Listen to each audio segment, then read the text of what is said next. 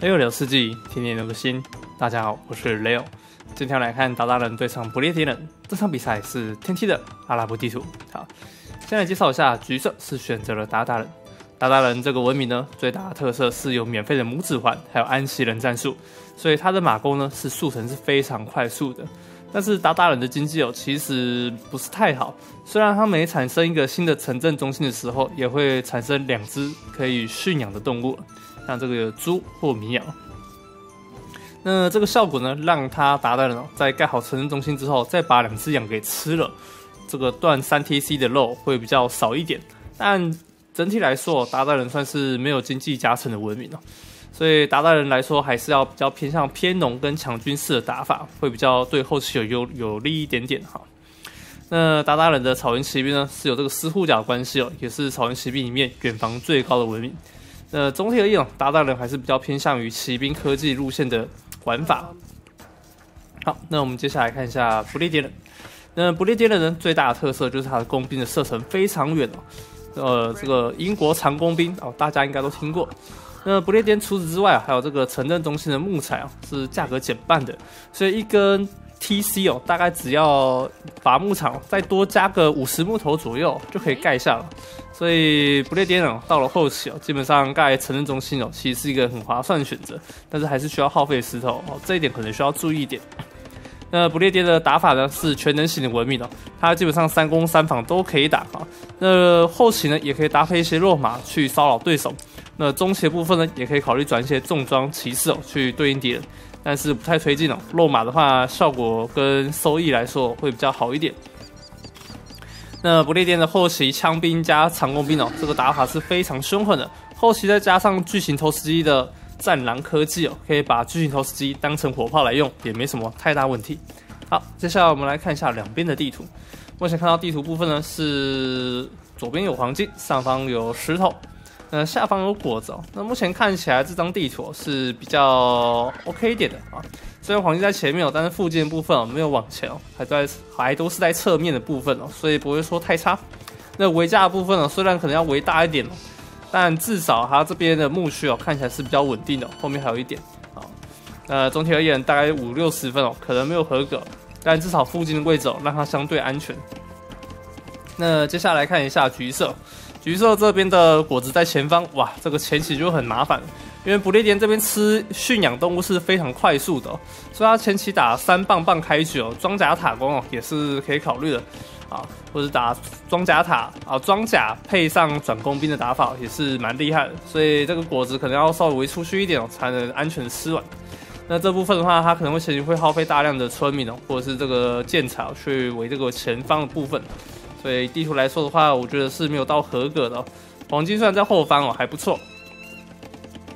那金矿在下方，那这个金矿就话，这个金矿就有点麻烦了，很容易被控住住。那还好下一块还有附近哦，可以接受。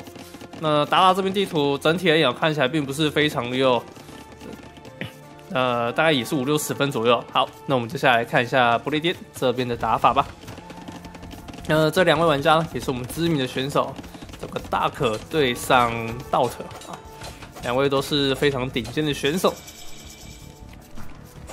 好，这一只村民会被抓掉吗？应该不会，落马过来拯救了。好，进入到封建时代，落马伤害变高。哎呦，这边高打低，再回头打一下，A 了吧？这个这个直接硬 A 就打赢了。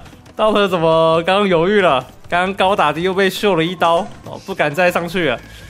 哇，大可这边用这个落马秀掉了道特的这个落马的血量，血量只剩五滴血。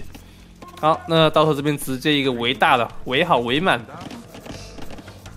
好，那这边拉非常多村民去围家。那大可这边是没有把左右边这边先围好，反而是专心下了马厩。那不列颠这边是决定先围好再说。那这边可能要转工兵了，四个人挖金是一个正常的单射箭场的一个开局方式啊。好，那这边有四只肉马，好开始在绕，发现都已经围死了。那到头这边有个很好的示范啊，就是这个边边角角都用房子先堵住啊。那为什么用边边角用房子堵住比较好？是因为你有时候村民离得太远了，可能就会来不及哦，把这个木墙给补起来啊。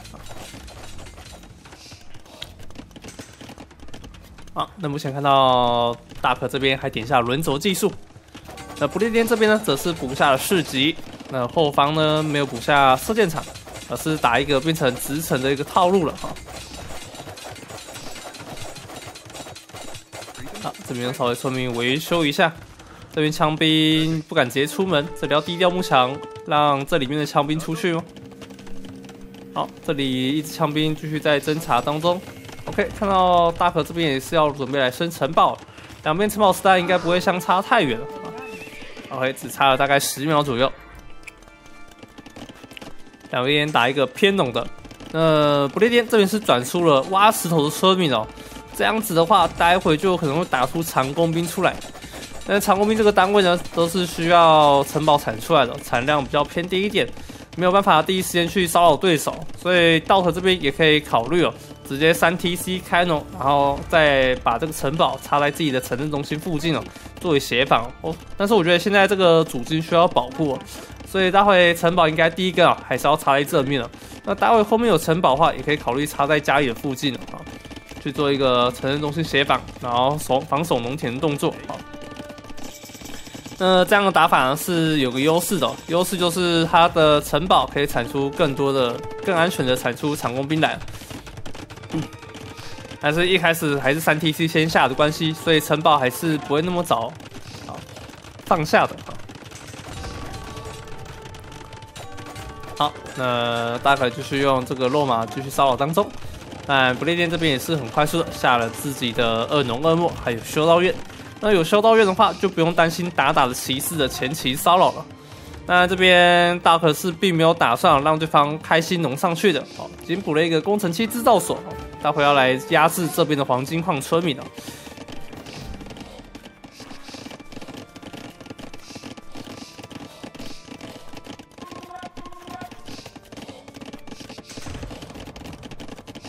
好，这边滴了一个木墙，让老头出去捡下生物。这边骑士数量按到五只之后，开始再转成了品种。好，要来增加一下骑士的血量了。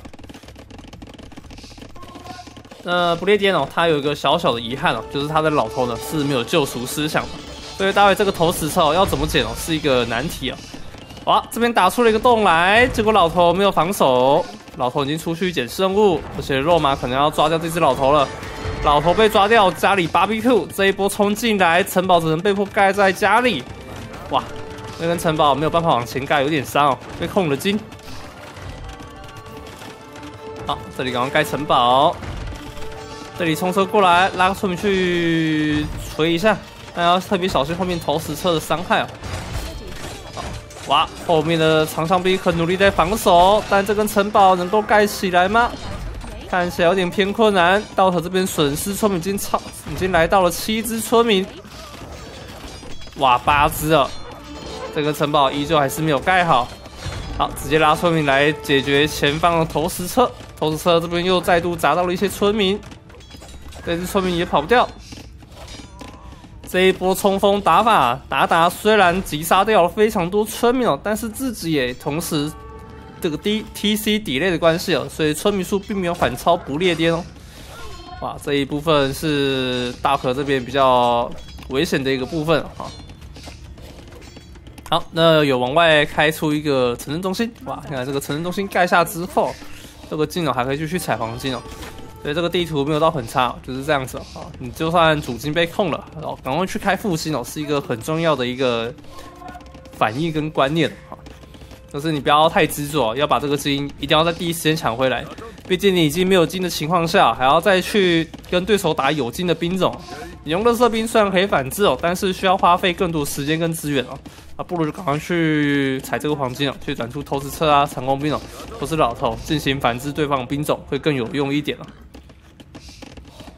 好，呃，不列颠这边是四 T C 开农，而且城镇中心很便宜哦，所以前期的木材消耗并没有那么吃重，而且是这边快快速撒出了大片农田，我看三十二片田，城镇中心半教还是获得了一个很好的减免哦。这是我觉得不列颠最强大的经济加成，当然前期吃面啊吃的很快，也是一个很不错的加成。但是城堡时代的这个截面哦，是一个让它快速可以浓起来的一个能力。所以不列颠哦，一直都是一个不弱的文明哦，只是它的打法是比较偏困难的，因为你要除了产长弓兵之外呢，还需要产一些枪兵哦，在前面当坦克，防守骑士的冲锋哦，才可以的。哦，不单单只是只有工兵才可以，应该说其实所有的工兵文明都是这样子的啊，你不是只有单单的只用工兵就可以打赢对手的啊。所以为什么工兵文明玩起来会比较困难呢？也是这个原因呢。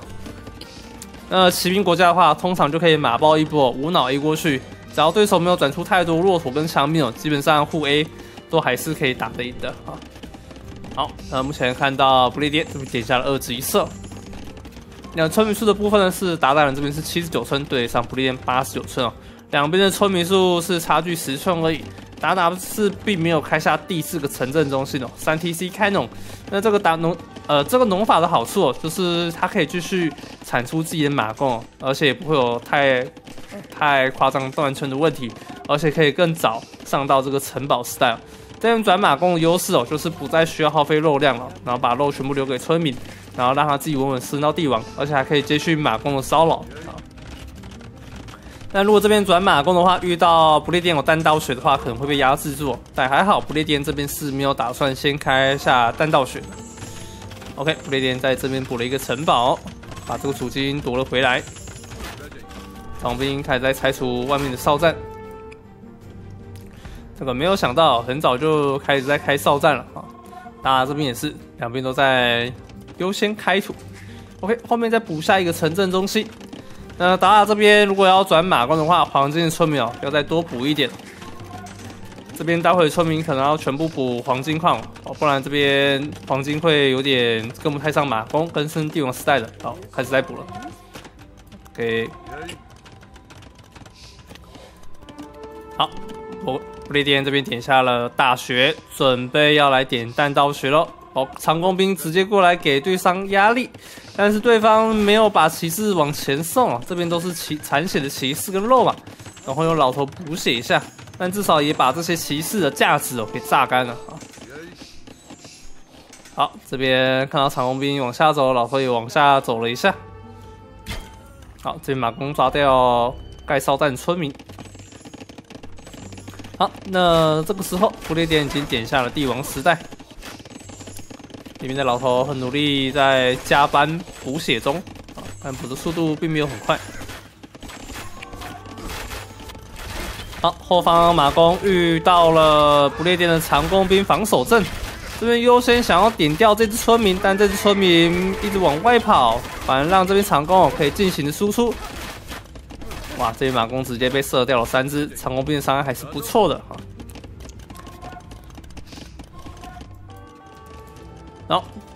达达这边在中间补了一根新的城堡，后方长弓兵还在持续骚扰当中。这个长弓兵走进来是怎么走进来的呢？这里是有洞吗？我们看起来是这里啊，上面这里有洞啊，看到了。哎呀，这个洞进来啊，农田这边村民都没有办法好好种田了。那这里当然可以用骑士哦去进行前压这边长弓兵，但是要小心这是两只老头。好，长弓兵稍微抵抗一下对方盖城堡的状况，但是城堡还是被顺利建了起来。雷电开始把城堡插在家里，啊，进行协防动作。城堡插的位置不能说到很好，但也不能说太差。如果是我会想要盖这里，毕竟是高地啊。我这个人一看到高地哦，就想要插城堡的冲动。那这个位置的好处是这个门面了，这个门面进来的话，会一定势必会遇到城堡。好，那这边骑士冲锋直接收掉两只老头，长弓兵也要被收掉了。OK，这一波打起来并没有很亏，让自己的马弓回来救一下。达达人这一波把这波长弓兵解掉了，但达稻草还是成功的用这个长弓兵骚扰到农田了，还是让达达这边有受到一定的经济损伤哦。好，不列颠这边三级射也补上，工程工程师也点了，哇，这些科技都很贵的，尤其是这是这个工程工程师，非常昂贵哦。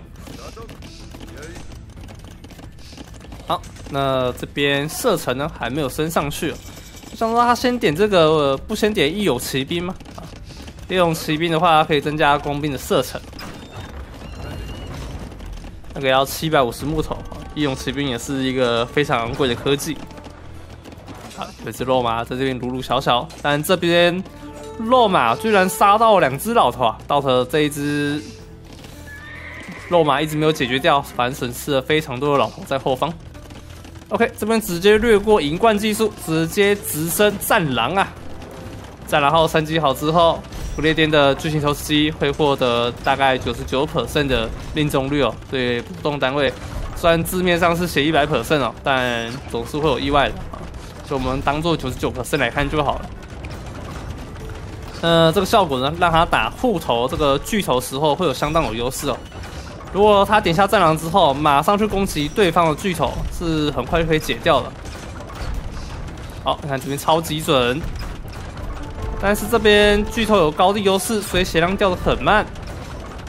现在三巨头在攻击城堡，后面有一台巨头在攻击后方的巨型投石机。好，这边顺利收掉巨头，这根城堡应该是没救了。战狼号巨头是非常强大的。好，下方想要盖城堡去控图，但是被对方给抓包了。这时候打打升到帝王时代，没有第一时间补下重装马弓。是先去转了一些村民跟，哎，不知道他转了什么东西出来啊？对，还是要转重装马弓啊，对不对？啊，你上帝王不上重装马弓，这个打打是绝对打不赢不列颠的啊。OK，不列颠这时候补下义勇骑兵了，射程来到六加六，精锐也升级好了，精锐长弓兵登场。好，列颠这边也升级了枪兵的升级，补下护卫技术，开始要来转步兵了。那不列颠为什么还是要一些枪兵防守？最主要是因为长弓兵并没有拇指环这个科技哦，打对方骑士哦效率还是差了一点啊，骑士的伤害的攻击速度还是太快了。好，这边长弓兵走到了正前方，开始输出。好，这里有弹道学，还是要稍微抖动一下。啊，不稍微抖动一下的话会被射光。啊，再拉了一些村民过来，把这根城堡给守住。但上方哦，反而是自己没有守下城堡，反而让对方有盖城堡机会。不知道这上方会不会发现到啊？这也是很矿很重要的矿区哦。好，巨型头 C 直接开拆马厩，这里的马厩感觉会不太妙。后方可能要再补更多的马厩了，但达达这边肉量有点不太够。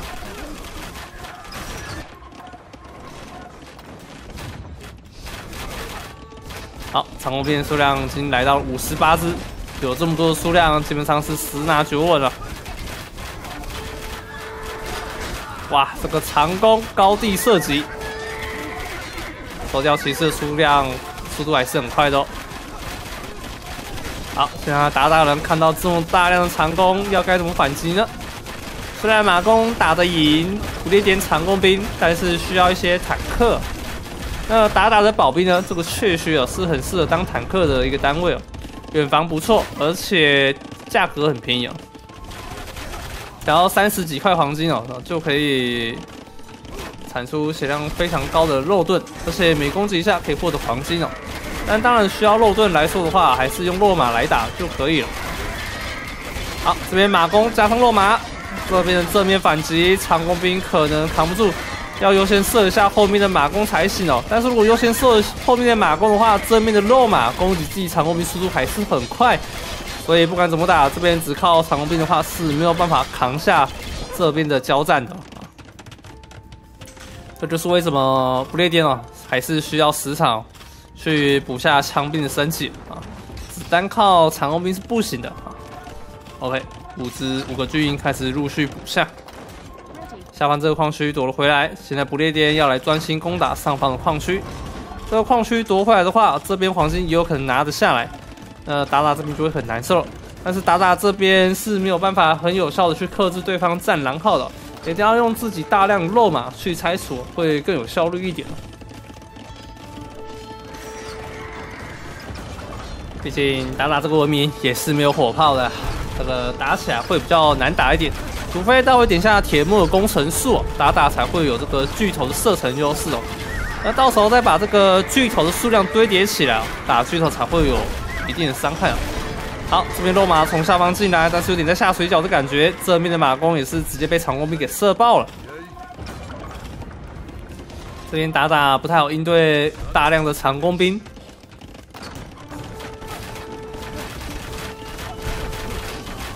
好，这边巨型投石机来到了吧台，上方拉了六只长弓开始输出，但是这边石头已经挖完了，哇，有点来不太及啊。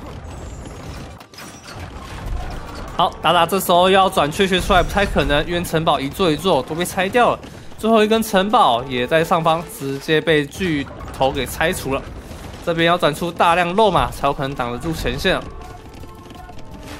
OK，这边罗马的远防是七二加五，哇，这个就是打打了。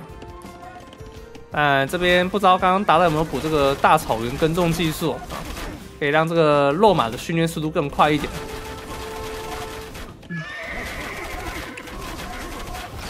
远防七的落马，长弓兵三 S 七加四，那像落马只有四滴血，但数量够多还是可以秒杀。好，这边大罗马加上后面马弓，直接往前开始进行攻击。后面巨头要不要瞄准后方的？哇！战狼直接打到后方大量的马弓，马弓这边还是散开来了，但是战狼号的威力还是很强大。长弓兵直接肉身硬扛前线的落马，加上马弓的反击，这波反击让长弓兵损失数量有点多。好，战狼号在后面继续攻击。哇，这个落弹范围实在是太痛了，后方马弓数量还是被减少了非常多。喂，这一波马弓挤的有点头破血流。好，这时候不列颠开始展出了骑兵的铠甲。长弓兵数量只剩下少量的二十七只在前线，其他长弓兵还在陆陆续续的从前线开始对应起来。但上方这些长弓兵哦，也是让对手有点担心哦。补了一些落马过去，但是这面这边的落马实在是太烦了，没有枪兵在前线。那奇怪的道特怎么按了一堆军营之后没有产枪兵出来？这有点怪怪的。哇，前方的长弓兵损失数量越来越多，来到了高达大概六十只以上哦。啊，后方这里马弓还在持续输出当中，长弓兵虽然一直在发，一直在一直在拉弓，但是数量越来越少了。完了，凉了。好，那目前看到不列颠这边的一个反击还是有点亏。这边巨头本来有八台，只剩下两台巨头了。达达这边落马攻势打得很不错，八十二片田产出大量落马。这一波反击道和确实血亏，但是待会枪兵出来之后，达达人可能就不太好解了。还是要大量马弓啊，才可以解掉这些长枪兵。嗯，可能要赶快把这个上面矿区给夺回来啊，不然他待会就要矿断金了。这个金矿挖完他就没金了啊。好，下方石头跟黄金也被不列颠给控了下来。这面落马再次上前进行拆除巨头的动作。这边巨头两台最后也是直接被拆除掉了。不列颠现在已经失去了进攻的能力。好，但是枪兵开始在家里防守。这一波落马骚扰打得很不错，哇！击杀掉了道特非常多的村民，现在道特村民已经快要布满一百只了。但是达拉这边村民还有一百四十二村，有点卡人口啊。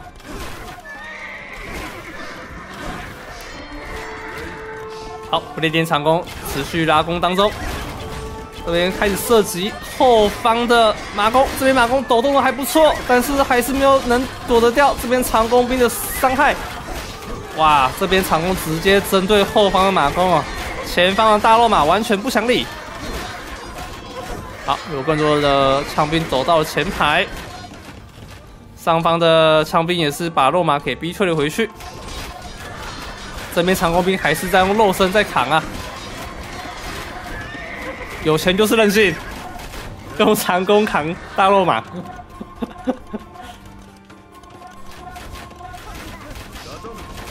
OK，枪兵数量来到十二只，有十二只的话，就可以稍微能扛住这波的骑兵冲锋了。这边使用长弓直接去后后排输出就可以了。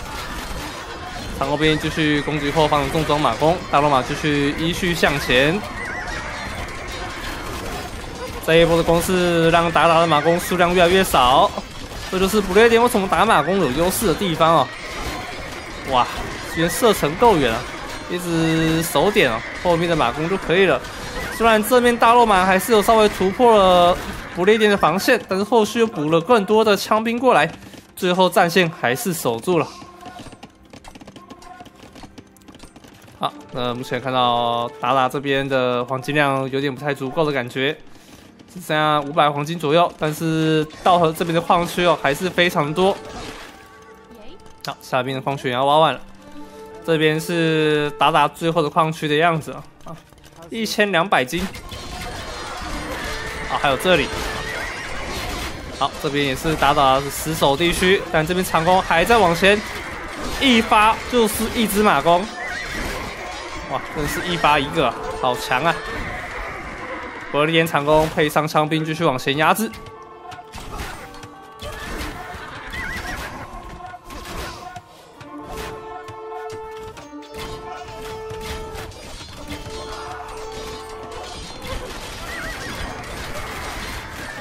前方的枪兵也是戳爆了这些大肉马。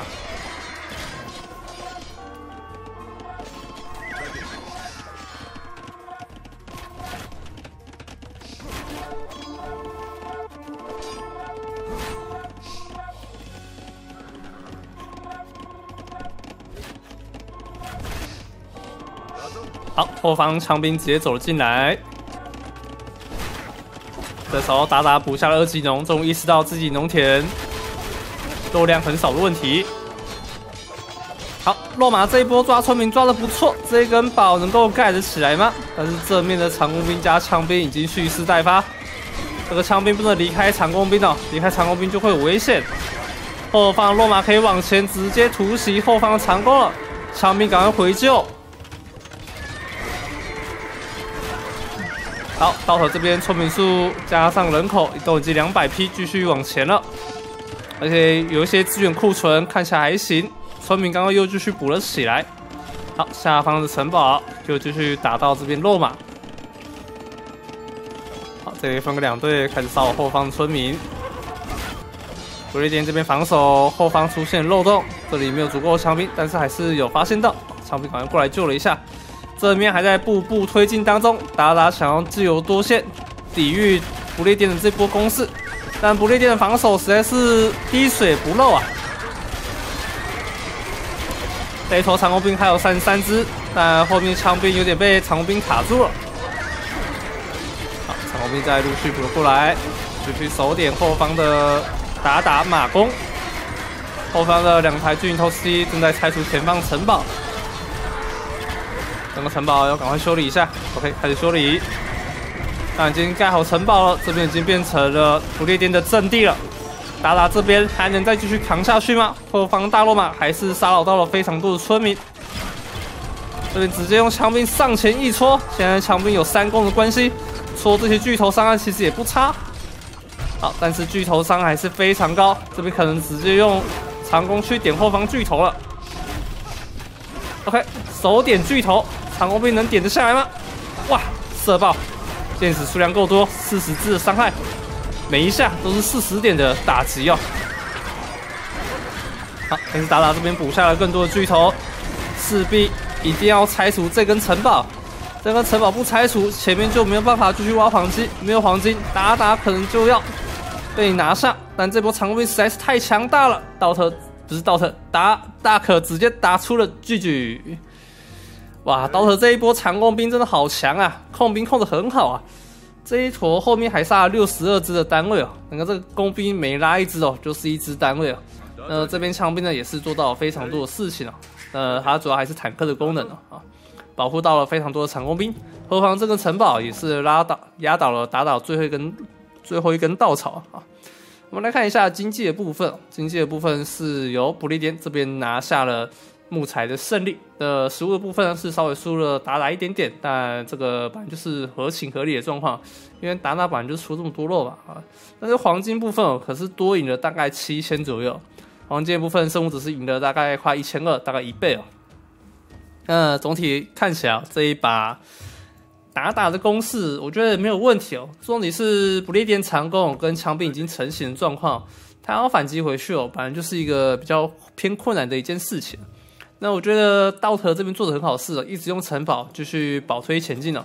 但做的不太好的地方是，刚刚一直用长弓兵哦去弹住了前期的这个落马的伤害，不然他应该可以更轻松拿下这场比赛的。那枪兵部分虽然很及时转出来，但是没有赶快按出这个枪兵的生产，科技算是很快了。好啦，那么今天影片就差不多到这喽。那如果喜欢这部影片，请记得帮我下订阅，我们就下次再见了，各位，拜拜。